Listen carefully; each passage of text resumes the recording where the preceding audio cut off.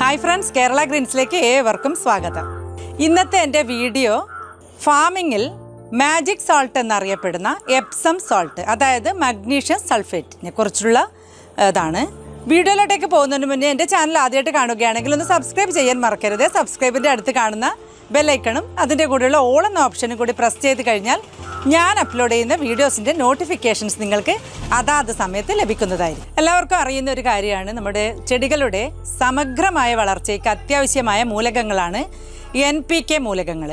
Nitrogen phosphorus potassium.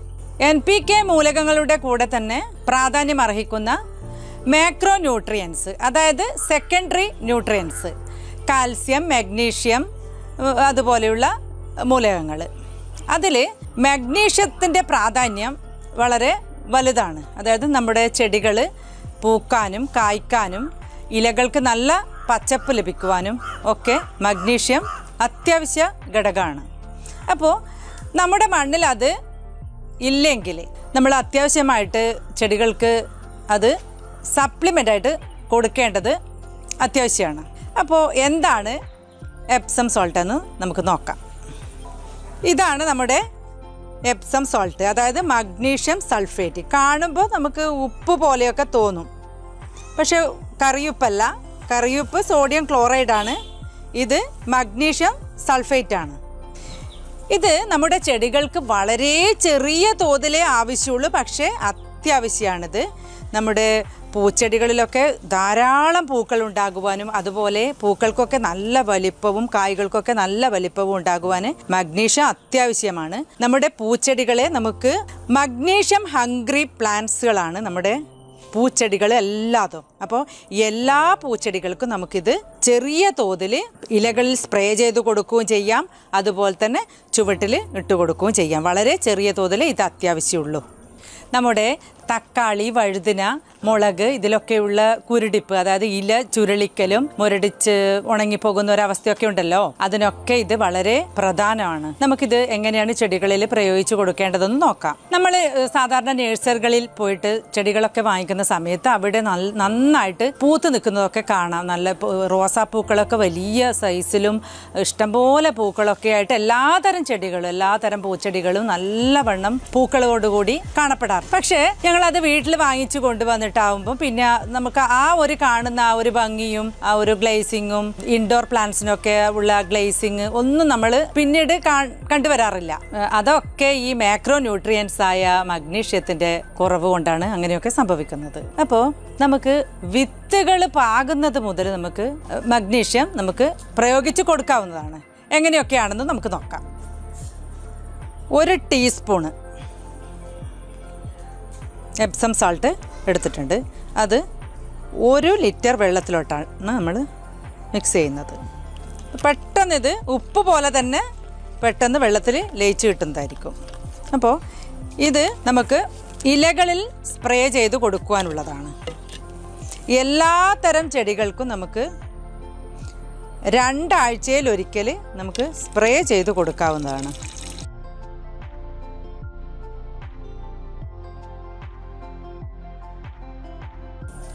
നമുക്കിപ്പോൾ ആകെ പറിച്ച് നടുന്നതിന് മുന്നേ തന്നെ നമുക്കിത് ഇങ്ങനെ സ്പ്രേ ചെയ്ത് കൊടുക്കുന്നത് നല്ലതാണ്. അതുപോലെ തന്നെ തടത്തിലും ഒഴിച്ചു കൊടുക്കാവുന്നതാണ്. ഇതുപോലെ സ്പ്രേ ചെയ്ത് കൊടുക്കാവുന്നതാണ്. നല്ല റൂട്ട് ഡെവലപ്മെന്റിനൊക്കെ വളരെ നല്ലതാണ്. നമ്മൾ പാകിയതിന് ശേഷം ചെടികൾ പറിച്ചു മാറ്റി നടുവല്ലോ. ആ സമയത്ത് ചെടികൾ ചെടികൾക്കൊരു ഷോക്ക് സംഭവിക്കും. അപ്പോൾ ആ ഷോക്ക് ഇല്ലാതിരിക്കാൻ അതായത് നമ്മൾ പറിച്ച് മാറ്റി നടുന്ന സമയത്ത് ഒരു ക്ഷീണം ഉണ്ടാവാൻ സാധ്യതയുണ്ട്. അപ്പോൾ നമ്മൾ ഇതുപോലെ ചെടികൾക്ക് സ്പ്രേ ചെയ്ത് കൊടുക്കുന്നത് നല്ലതാണ്. തടത്തിൽ ഒഴിച്ചു കൊടുക്കുകയും ചെയ്യാം. ഇതിന് തടത്തിൽ ഒഴിച്ചു കൊടുക്കുന്നത് അളവും. അളവ് സെയിം അളവ് തന്നെയാണ്. അതായത് ഒരു ടീസ്പൂൺ ഒരു ലിറ്റർ വെള്ളത്തിൽ തടത്തിൽ ഒഴിച്ചു കൊടുക്കാൻ. ഇനി നമുക്ക് വേറൊരു രീതിയുണ്ട്. തടത്തിലും ഇലകളിലും മൊത്തത്തിൽ നമ്മൾ സ്പ്രേ ഇത് ഒഴിച്ചു കൊടുക്കുമല്ലോ അതിന് അതിന്റെ അളവ് എത്രയാണെന്ന് വെച്ചാൽ സാധാരണ നമ്മൾ വെള്ളം ഒഴിക്കുന്ന സമയത്ത് ചെടിക്ക് വെള്ളം ഒഴിച്ചു കൊടുക്കുന്ന സമയത്ത് നമ്മൾ മുഴുവനായിട്ടാണല്ലോ ഒഴിച്ചു കൊടുക്കുക. ഇലകളിലും അതുപോലെ തന്നെ തടത്തിലും ഒക്കെ വീഴുന്ന തരത്തിലാണല്ലോ നമ്മൾ ഒഴിച്ചു കൊടുക്കുന്നത്. അതിന് ഹാഫ് ടീസ്പൂണാണ് എടുത്തിട്ടുള്ളത്. ഹാഫ് ടീസ്പൂൺ ഒരു ലിറ്റർ വെള്ളത്തിൽ. അത്രയും മാത്രമേ വേണ്ടൂ. നമുക്ക് അതിവിടെ കറിവേപ്പിലും ചീരയിലും സാധാരണ നമ്മൾ എപ്സം സാൾട്ട് ഉപയോഗിക്കാറില്ല. തക്കാളിയിൽ നമ്മൾ മെയിനായിട്ട് എപ്സം സോൾട്ട് ചേർത്ത് കൊടുക്കാറുണ്ട്. നല്ലതുപോലെ പൂക്കൾ പിടിക്കുവാനും കായ്ഫലം ഉണ്ടാകുവാനും ഇത് വളരെ നല്ലതാണ്. അതുപോലെ തന്നെ തക്കാളിയിൽ കാണുന്ന ഇത് കണ്ടില്ലേ? ഇലചുരുളി ഇലചുരുളിക്കൽ അതിന് ഒരു പ്രധാന മരുന്നാണിത്.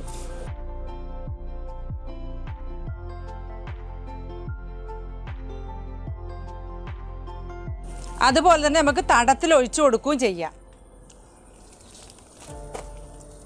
ഒരു ലിറ്റർ വെള്ളത്തിൽ ഒരു ടീസ്പൂണാണ് എടുത്തത് എപ്സം സാൾട്ട്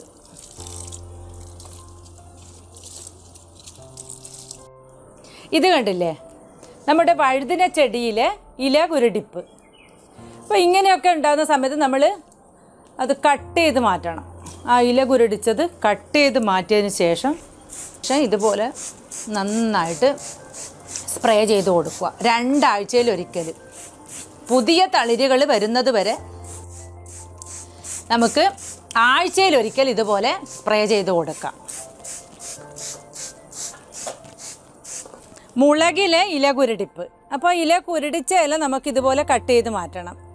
ഈ ഇല കുരുടിക്കുന്നത് മെയിനായിട്ട് മഗ്നീഷ്യത്തിന്റെ കുറവ് കൊണ്ടാണ്. അപ്പോൾ അതിനുശേഷം കട്ട് ചെയ്തിട്ട് നമുക്ക് ഇതാ ഇവിടെയൊക്കെ ഉണ്ട് ഇല ഉണ്ടല്ലേ? സ്പ്രേ ചെയ്ത് കൊടുക്കാം. നല്ലതുപോലെ പൂക്കൾ ഉണ്ടായി കായ്ഫലം ഉണ്ടാവും. എപ്സം സോൾട്ട് നമുക്ക് ഫെർട്ടിലൈസർ ഷോപ്പിലും കിട്ടും അതുപോലെ തന്നെ മെഡിക്കൽ ഷോപ്പിലും കിട്ടും. പിന്നെ ഓൺലൈനായിട്ട് വാങ്ങിക്കുവാനും സാധിക്കും. അപ്പോൾ നമുക്ക് കിലോഗ്രാമിന് അറുപത് രൂപ നിരക്കിലാണ് നമുക്കിത് ലഭിക്കുന്നത്.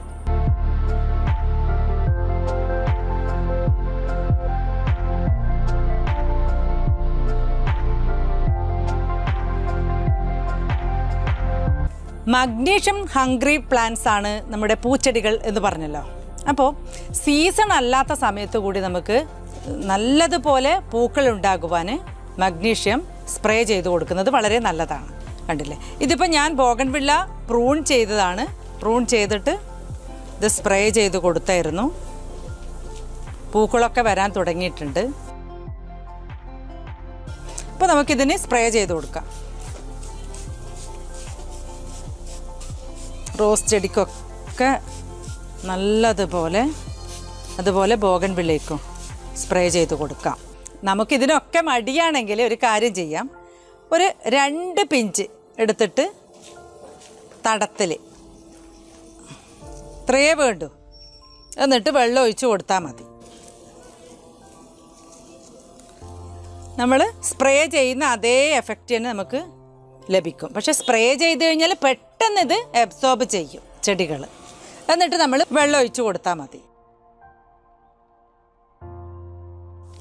നമ്മുടെ കുരുമുളകിന് ഇതൊരു പ്രധാന വളമാണ്. നല്ലതുപോലെ കായ്പിടുത്തം ഉണ്ടാകുവാൻ അപ്പോൾ നമ്മൾ രണ്ടാഴ്ചയിൽ ഒരിക്കൽ ഇതുപോലെ സ്പ്രേ ചെയ്ത് കൊടുത്തു കഴിഞ്ഞാൽ നല്ലതുപോലെ തിരികൾ ഉണ്ടാകുവാനൊക്കെ വളരെ നല്ലതാണ്.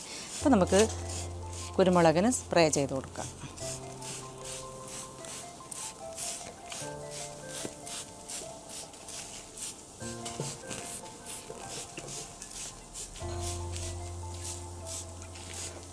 ചടത്തിൽ ഒഴിച്ചു കൊടുക്കുകയും ചെയ്യാം.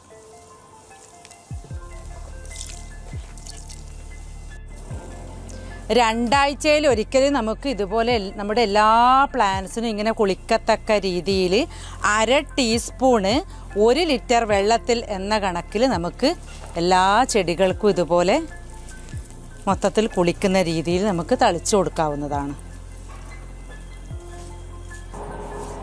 നമ്മുടെ വാഴയ്ക്കും തെങ്ങിനുമൊക്കെ നമ്മൾ മഗ്നീഷ്യം സൾഫേറ്റ് ഇട്ട് കൊടുക്കാറുണ്ട്. അപ്പോൾ അതിന്റെ അളവ് എങ്ങനെയാണെന്ന് വെച്ചാൽ അൻപത് ഗ്രാമാണ് വാഴയ്ക്ക് ഇട്ട് കൊടുക്കേണ്ടത്. അതുപോലെ അഞ്ഞൂറ് ഗ്രാമാണ് തെങ്ങിന് വളമായിട്ട് ഇട്ട് കൊടുക്കേണ്ടത്.